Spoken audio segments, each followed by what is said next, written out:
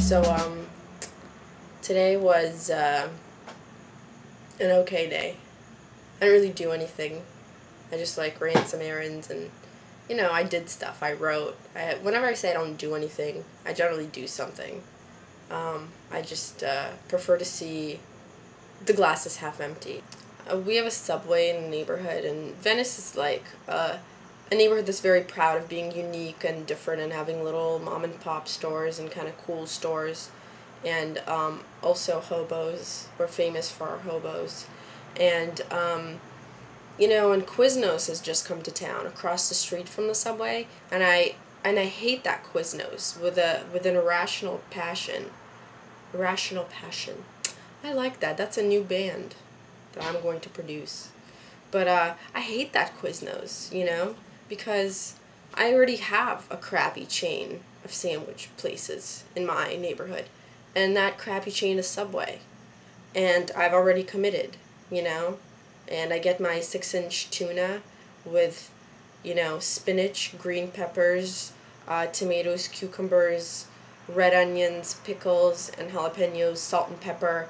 Toast the bread, but uh, then sprinkle the cheese in it after it's toasted, not a melt, because I don't like that. And I can't get that at Quiznos. So, you know what? Tough shit, Quiznos, because uh, Subway's here, and it owns this block and my heart, and take your business elsewhere. My big fear in life is when I go to Subway that I'll end up being the the shorter half of the foot long. You know, when you get a six inch every time, which I generally do unless I'm really hungry, um, then you always are afraid you'll be that short half when they cut it in half, that you'll be like five and a half inches. And uh, so I generally just basically live in fear of that. And bears, gigantic bears. So one thing about noticing yourself on camera, I watched what I recorded yesterday, and um, that thing is that my face is crooked. I only seem to talk out of the right side of my face. I don't know how to fix that, or if I should fix that, but it's just something that I noticed, and now I can't stop thinking about it. It's like Stephen Colbert's ear. If you watch the Colbert Report, he has one that sticks out funny and one that's regular, and if you just notice it once, then you just can't look away for the entire episode. For the rest of the episode, you're just staring at that ear. And then when I stare, I mean, I'm thinking the whole time, I'm like, which is the regular ear? And I don't care. I mean, it's not gross or anything. It's just, I need to know which is the real ear. I mean, the first ear, the good ear. So I didn't even call the walk a doggy place today um, because I just honestly, if he was going to say no, that for some reason they can't use me to walk a doggy, then I just, I couldn't have handled that rejection today. I woke up today and I said, no dog man is going to say no to me today. And that place, you know, I kind of really want to work there because you walk in, there's like 20 dogs all at your feet, different sizes, and they're all getting along.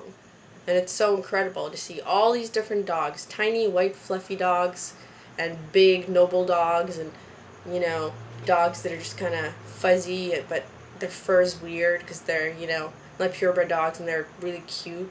Like the ones with the really weird tails that are kind of long and look like feather dusters.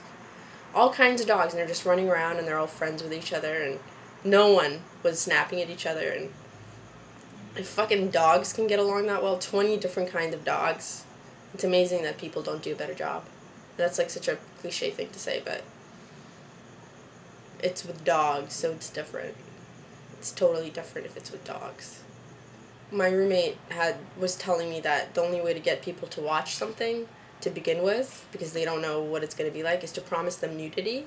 So I came up with sexy time. And it's important to note the question mark because I'm not promising anything. It's it could be sexy. It could not be sexy. So, it's sexy time with Sofiya. So that's what we've settled on for right now. But if you want me to change it, if there's anybody out there watching this, which I don't imagine there is because it's day two of this thing, but I'm open and welcome to any suggestions of uh, names for this. But excuse me, that was my tuna sandwich. Um, say hello. Basically, yeah, so if you have a better idea than sexy time, then you're welcome to tell me. Also, I decided that, you know, the next project I was going to do was going to involve being topless. So that's how Topless Fridays were born. So starting next Friday, I will vlog every Friday topless. I'm not saying you're going to see everything, but you might, you know. But I'm not promising. Maybe. Sort of like that. Oh yeah, and uh, P.S. If you don't like the title Sexy Time, then fuck you because I'm keeping it. As uh, Mr. Burns says, I've had one of my trademark changes of heart.